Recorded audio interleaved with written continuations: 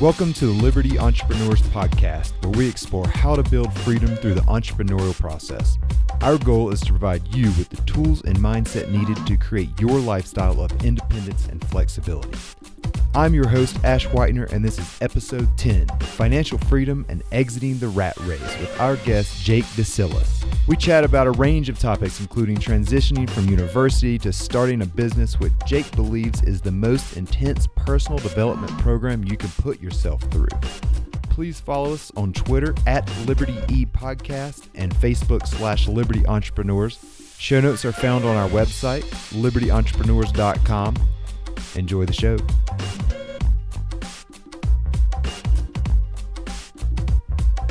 Jake Desyllas is the host of The Voluntary Life, a podcast about entrepreneurship, financial independence, and freedom.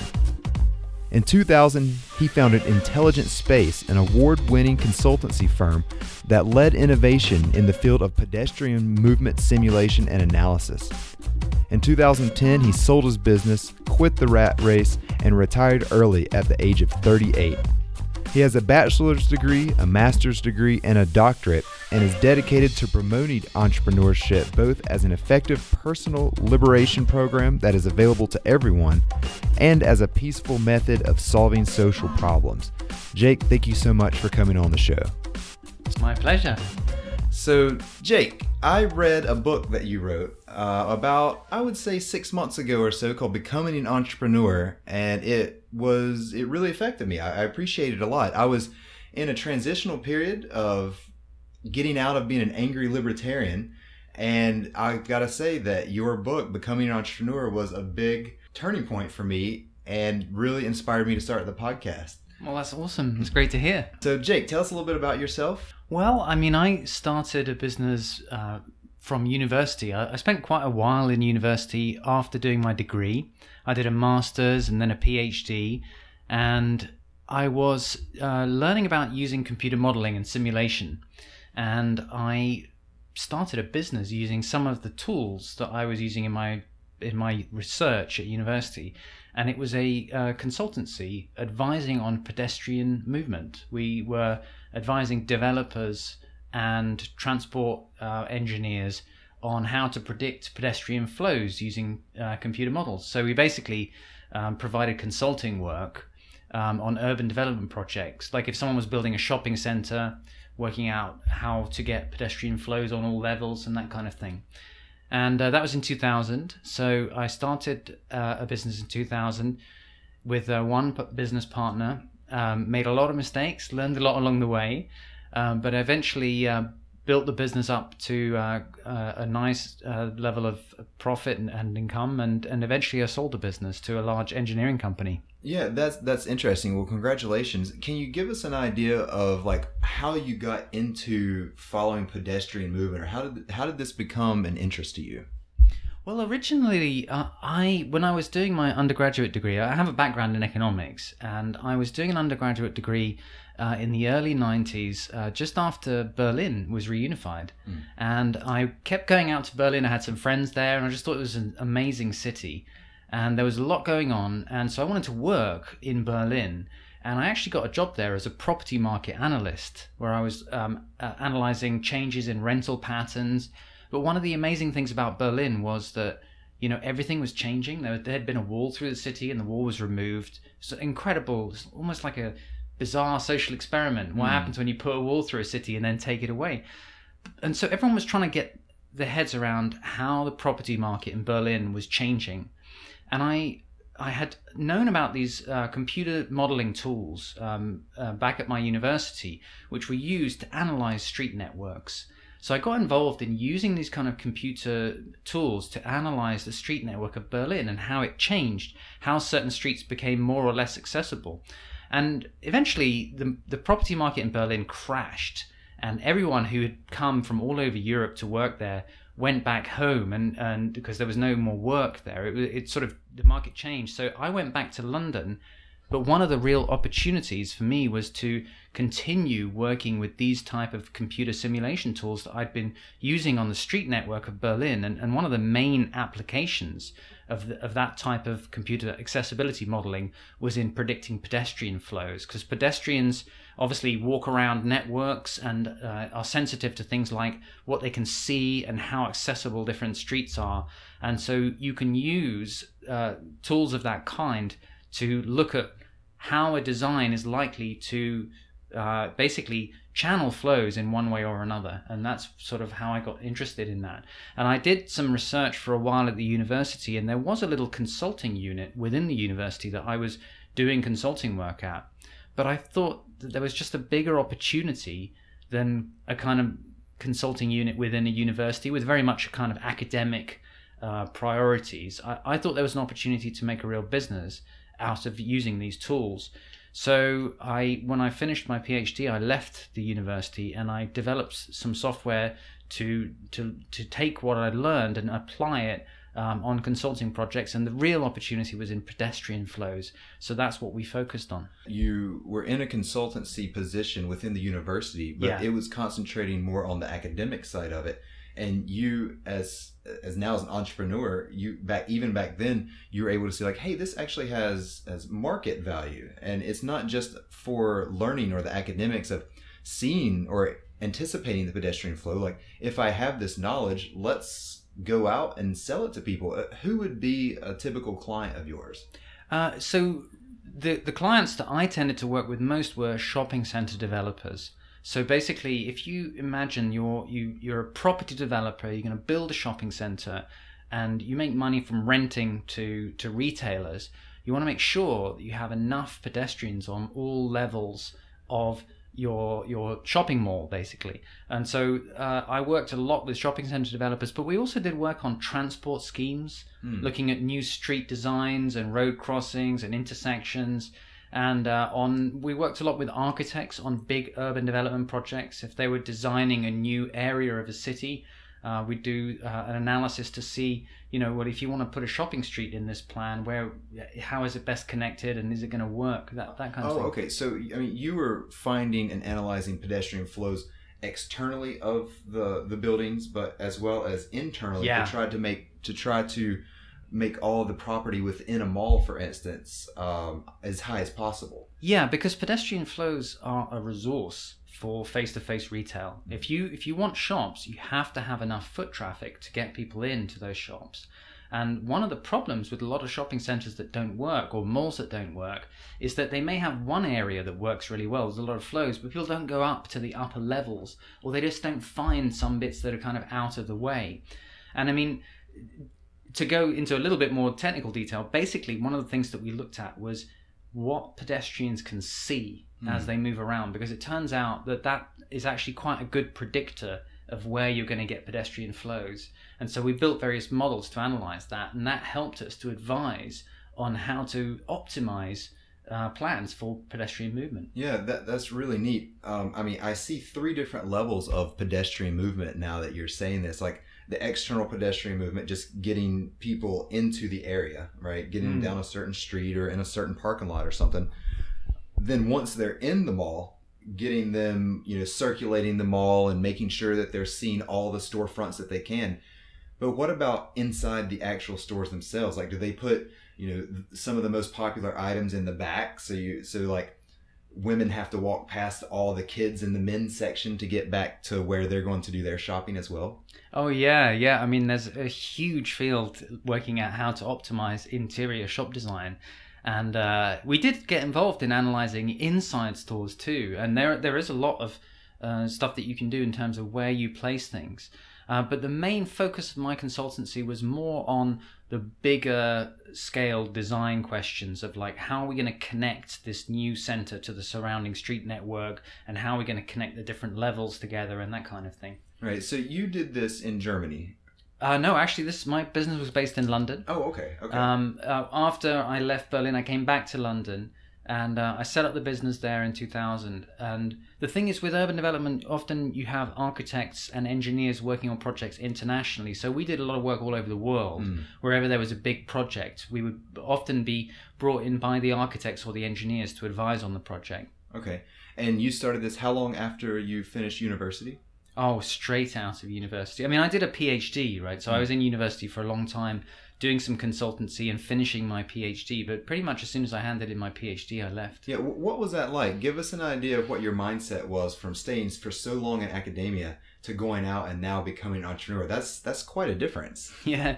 Well, I mean, I really didn't know sort of I didn't have like a grand master plan about starting this business. I I was interested in different things. Uh, I was as I said, I was very interested in Berlin and I wanted to go and live there, so I got a job there and then I got interested in how I could use some of the kind of technology that I'd learned about in university in that in that uh, role, and then I got interested in how I could continue um, doing something interesting with with new technology. I was very interested in software and that kind of thing, but I think um, more than anything else, I saw because there was a small consultancy unit within the university, I got a chance to work on really interesting projects from within the university.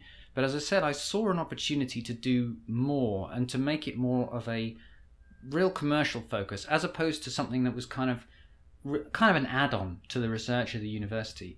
And that seemed to me like a, a, really exciting opportunity but also really i was really excited by the idea of being my own boss and doing things my way and, and working out you know actually just having the freedom to create an organization and create a, a, a venture that was doing something that I thought was really interesting and important, but also doing it in a way that made sense to me and that reflected the way that I wanted to to manage my time and work out what we were doing and decide what, how to prioritize projects and that kind of stuff. Yeah, I mean, this is a big part of what I want to put in this show, Liberty Entrepreneurs, is whenever you become an entrepreneur, become your own boss for for whatever reasons you have, like it opens up your time and opens up your control of your finances and do you want to network more one day or do you want to sit down and code or do you want to read a, a manual of something? Can you walk us through some of the thoughts that you were having whenever you first started your company and what it was like to all of a sudden hey i just got out of university when my time was dictated a lot to now controlling all of my time. What type of freedom or perspective did that give you? Before Jake answers that question, if you enjoy and appreciate what we're doing at Liberty Entrepreneurs and you would like to support our cause, then head on over to our website, libertyentrepreneurs.com. We're working with Shapeshift and have implemented the Shifty button so that you can donate $1 to our podcast in any cryptocurrency or altcoin that you favor. So head on over there and help out the cause. An entrepreneur definitely needs capital. All right, back to the show.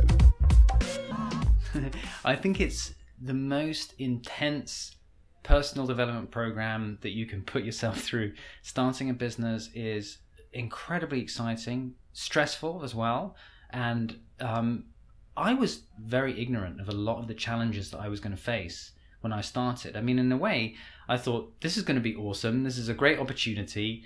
How hard can it be, you know? and you learn by doing just how much you don't know right. about business.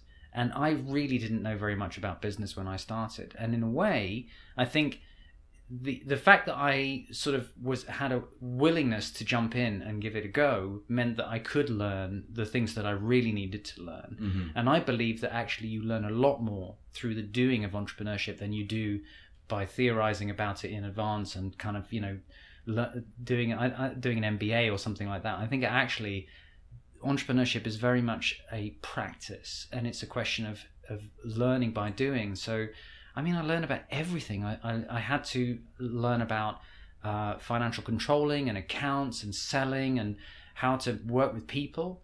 You know, that's this is another thing. It's an incredibly interesting process when you when you're running your own business. You have to negotiate everything with everyone the whole time, both with people who you want to work for you and with people who you want to to purchase your your services what was one point in intelligent space where you were like, I just don't know if I'm going to get past this? Well, I think really the first year, the the biggest sort of thing that, that came home to me in, in the first year was that you know we started and we spent a lot of money. I mean, I spent all my savings on developing software and doing you know creating cool products that we thought everyone would be interested in And then I realized that, you know, actually it's completely different. It's not like you build something really interesting and then the world comes knocking on your door because you're so awesome and they want to buy your stuff. It's like you actually have to go out there and sell. And if you don't, then nothing is going to happen. And nobody, I mean, everyone's got stuff to deal with in their own lives. Nobody's interested in your Mm. new business unless you go out there and actually make it happen. And selling was something that was, you know, academia especially, you don't have to sell at all. You're completely insulated from the market in that respect. So that was kind of the biggest thing for me was realizing that the fun stuff, the stuff that I wanted to do, like develop software and work on our website and this kind of stuff, that doesn't sell. What sells is actually making contact and working out what do customers need, how can I actually help people, and how can I find a way to actually engage with the marketplace. And that's a very different skill set and a very different mindset.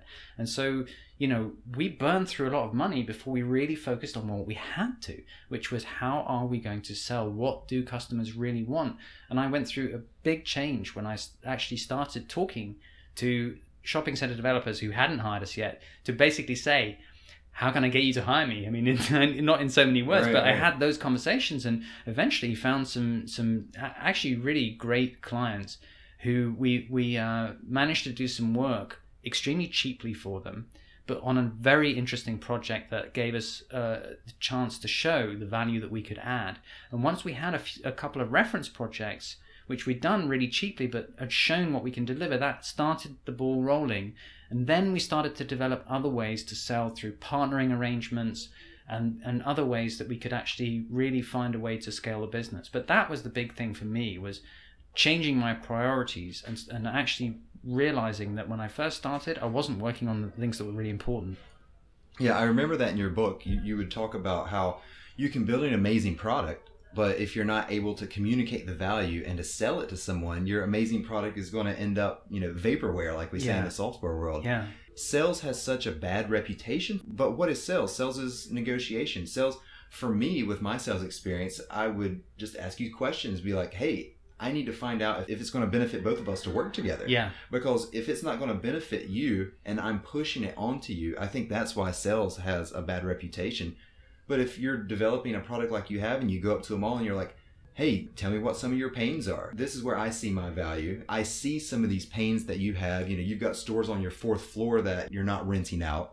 You have a whole row of, of shops that change every six months. I can help you increase the value of the rent or the storefront property value and you will have a more successful business. Do you want to enter into a successful partnership with me? Yeah, the selling is learning. That's the key thing for me was that selling is how you learn what it is that you can really provide. And often the things that you think you can provide are not exactly what your customers really Right, want. right. And that there's a humility that you have to actually Mm. realize that okay, well I thought this was really an epic thing that I was doing, but actually nobody's interested in that. But they are really interested in a variation on it Right. that's a little different, but actually is going to help them a lot more. And so you know, th- there's you you have to work out how to do it, what it is that you want to do, but also find a way to engage with what other people want you to do. Yeah, because the value that the market sees in your product may not be the value that you initially see in your product. Right, Right. I mean, I, I've been a part of a startup where we thought we had just a wonderful idea and everybody's going to use this because we thought it was so amazing. Then when we started pitching the idea, the feedback we got was, uh, I see more value in this. Yeah. And right. And we, we had, like you said, we had to have the humility to step back and be like, okay, well, maybe we were wrong. Let's hmm. think about this again. And I think that's a very important trait for Yeah. a, a successful entrepreneur. That's what happened to me because I wanted to create an online application service provision model. I wanted to basically sell software as a service. And I thought engineers and developers could take our software and run the kind of computer modeling and simulation of flows themselves. But actually, they didn't want to do that. They wanted us to give them the answer. And that's not what I initially wanted to get into because that's consulting, Mhm. right? And I thought software would be much more scalable. But after a while, you realized, like, okay, look, the market is not there for what it is that we're trying to sell, but there is a market for the solution that our software provides. And that's why I actually changed the business and pivoted into consulting. So, talk to us a bit about exiting the company and selling the company. And this has got to be an exciting time. What was it like to sell your company? And then give us an idea of how life changed after you sold the company. I mean, selling was something that was basically one of the most important turning points in my life. You know, uh, when you start a business, uh, I I, re- I put everything into that business, and it was it was a huge struggle building it to profitability. And I really cared about the business, but I also really wanted the opportunity to do other things as well. And selling was a, a, an amazing experience because it meant that it gave me the freedom to do other things afterwards and uh, you know it was definitely the, the most important negotiation in my in my career was that that negotiation and um, I think it's also a bittersweet thing because it's difficult selling and you you do see when you give when you give up ownership of your company you see the new owners making decisions that you might not make mm. and doing things that you wouldn't necessarily agree with and you have to be able to to let go and, and see some things happen that you actually really would not want to happen to your company.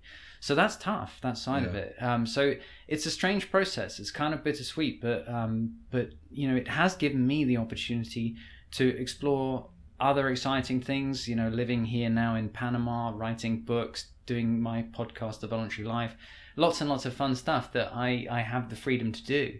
Yeah, so, let's let's talk about your book because I found it incredibly interesting. It was you know the writing style was very easy to digest and it had a passion to it that you could tell that you were excited to write the book how did you get into that mindset how did you make the decision to write and get a book published i've heard it's quite difficult well you know you talked about the the idea behind your podcast and i mean in a way uh, i i can really really um that really resonates with me because when i sold my business i wanted to try and encourage other people to think about entrepreneurship as an opportunity to gain more freedom because that's to me the most important things in life is, is having freedom. I'm, I'm really interested in how I can live as freely as possible. And I see entrepreneurship as the way to achieve real tangible freedom in life.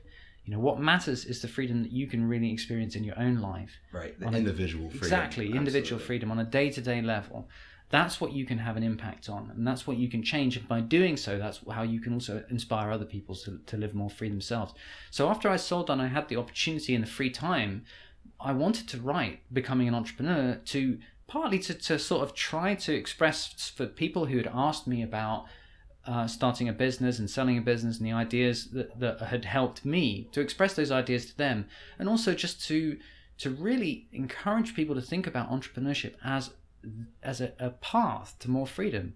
And I think it's such a productive thing to focus on that rather than to focus on you know more abstract kinds of freedom that you can never really control there's the you know you can have no impact on mm-hmm. politics on the really big scale right. but you can change your own life and in doing so you can have a fundamentally positive impact on the world because i also believe that entrepreneurship is a an incredible force for positive change in the world it's through entrepreneurs that we get all of the positive benefits of social change that we've seen in terms of greater standard of living, in terms of uh, you know more opportunity and freedom that, that comes from economic growth, basically. Yeah, absolutely. I mean, at the root of it, what is an entrepreneur trying to do, right? And this is something that I, I asked myself for a long time.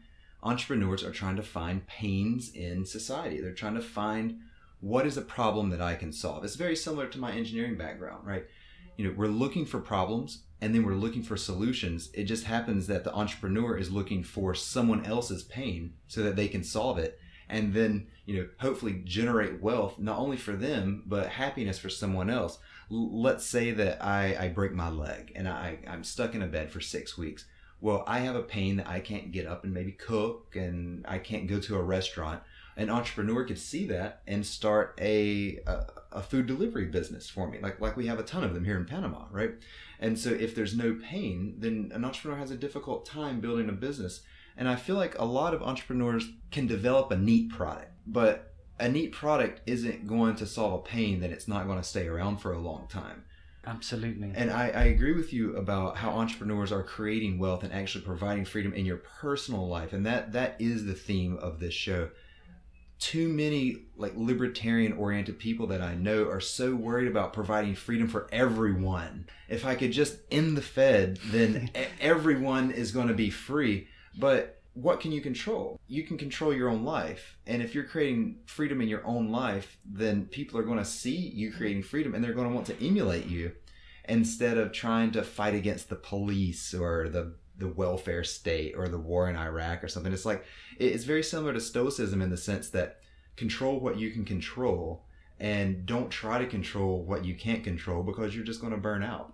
Yeah, and this is the way that you can see tangible change happen through your own efforts. You can actually see yourself making an impact on making the world a better place because you you know that if people are helped by your products and they're willing to pay for them, they demonstrate that, that you're actually making their lives better because right. they're, they're, actually willing to pay for it. And in doing so, you create value for, for yourself and for them. And it's a, a great example of win win. You know, it's an opportunity for everybody to actually improve their lives uh, without anybody being ripped off, basically.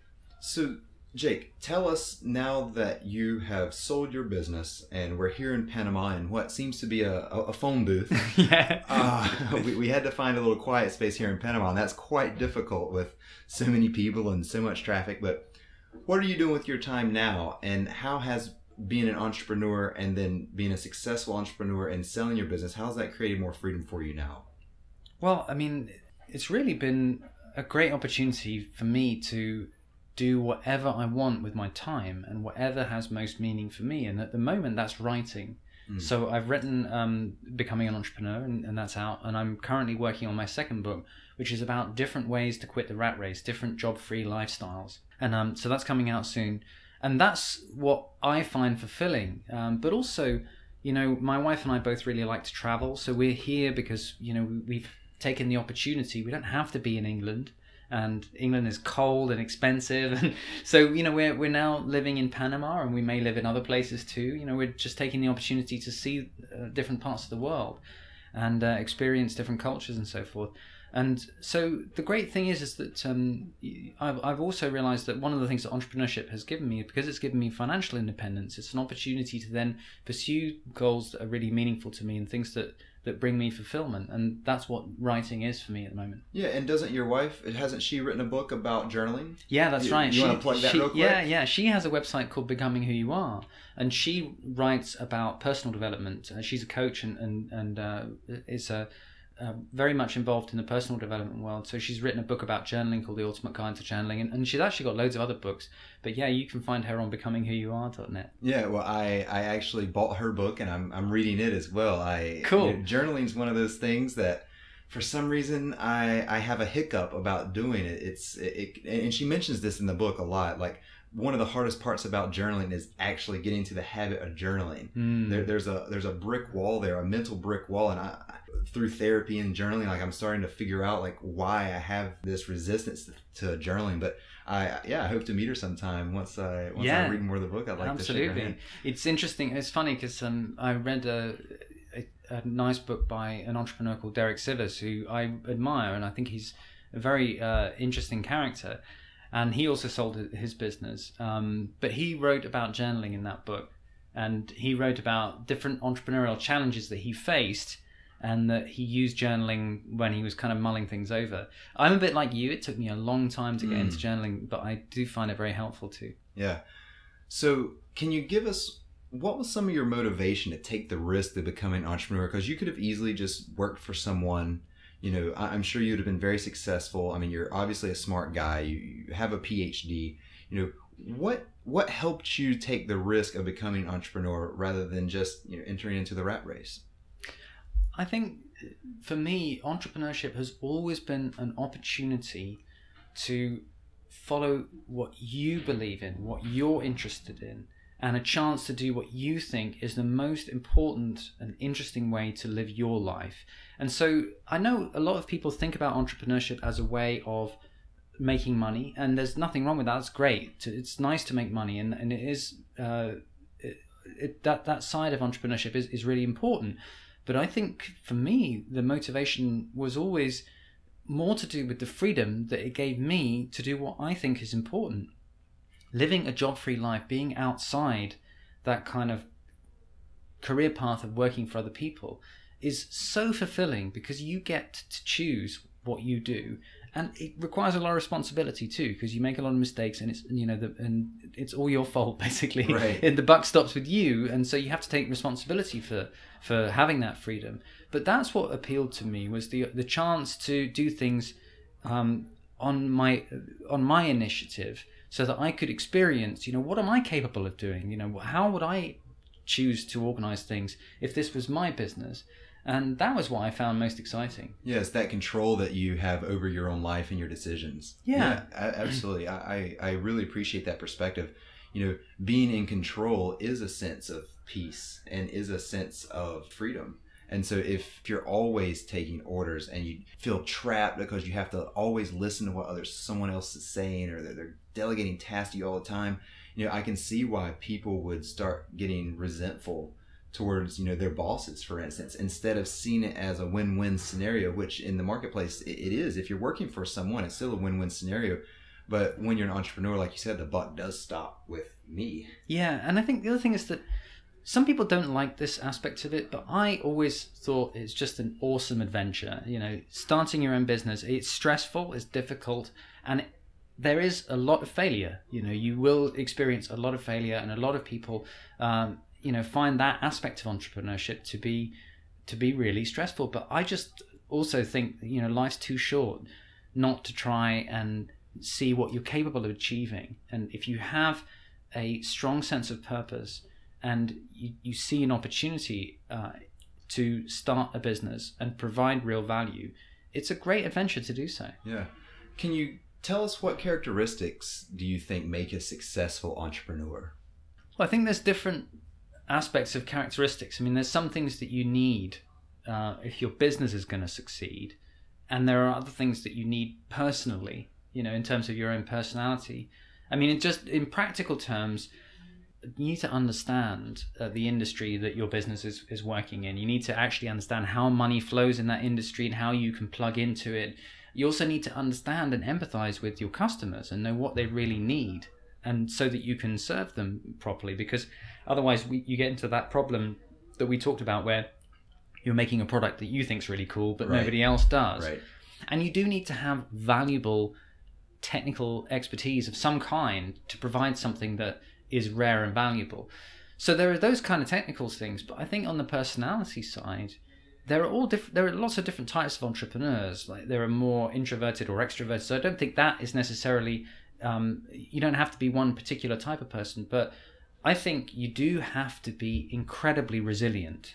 You know, you've got to be able to come back after failure and especially after embarrassment entrepreneurship is super embarrassing sometimes you know you make a lot of mistakes things don't work out and if that kind of thing is going to stop you um, or, or you know annoying people. Right. you're going to annoy people if you're an entrepreneur too. Yeah. if that's going to stop you then you won't get anywhere. So i think you need to be incredibly resilient but you also i think you need to have a strong sense of purpose about what it is that you're trying to do to get you through the hard times because there will be hard times. And ultimately you can you need to be an optimist. Mm you know if if you don't see that that there's an, a way through setbacks if you don't have that optimistic outlook then uh, it's really hard to to get through. Because there's always something as an entrepreneur that that you're going to fail at. You're always going to be failing. And if you're taking those failures personally and just not seeing obstacles as opportunities then you know there's infinite reasons to get down on yourself and just throw up your arms and quit and say oh the you know they, they can't see the value in my product yeah. or the, you know the world's out to get me or something like that. Yeah. Um, what what advice would you give young or inexperienced entrepreneurs